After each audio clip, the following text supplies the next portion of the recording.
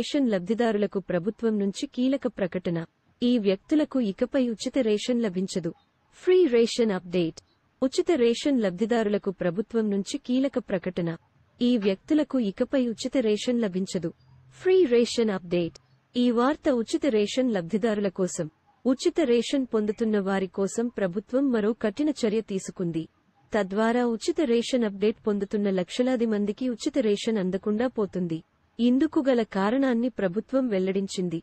అనర్హులను పథకం నుంచి తక్షణమే తొలగిస్తున్నామని ఉచిత రేషన్ పేదలకు పేదలకు మాత్రమేనని అన్ని తరగతుల వారికి కాదని ప్రభుత్వం ఉద్ఘాటించింది. ఉచిత రేషన్ పొందుతున్న లక్షలాది మందిని గుర్తించిన ప్రభుత్వం ఇక నుంచి అనర్హులను తొలగిస్తుంది.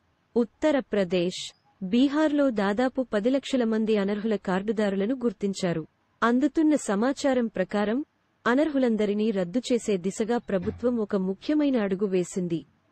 అన్ని ఆదాయపు పన్ను చెల్లింపుదారులు లేదా ఇతర కార్డు హోల్డర్లు ఉచిత రేషన్కు అర్హులు కాదని ఎన్ఎఫ్ఎస్ఏ తెలిపింది. పదెకరాల కంటే ఎక్కువ భూమి ఉన్నవారికి కూడా ఉచిత రేషన్ ప్రయోజనం ఉండదని ప్రభుత్వం తెలిపింది. మంచి వ్యాపారం ఉన్నవారు అంటే ఏడాదికి మూడు లక్షల కంటే ఎక్కువ ఆదాయం ఉన్నవారు కూడా అనర్హులు రేషన్ కార్డుదారుల పరిధిలోకి వస్తారని ప్రభుత్వం తెలిపింది.